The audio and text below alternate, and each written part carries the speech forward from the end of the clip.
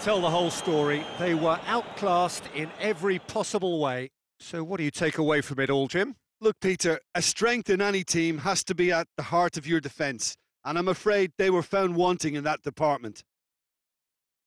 Many thanks to Jim, and with that, it is a very good night to you.